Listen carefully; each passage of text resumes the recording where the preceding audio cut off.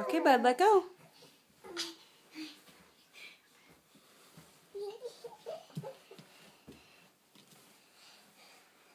Artie, were you giving Zebby a hug?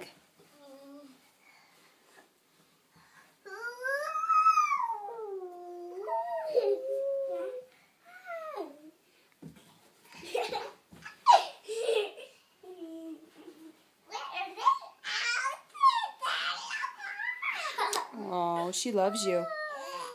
Be gentle, Zeb. Gentle.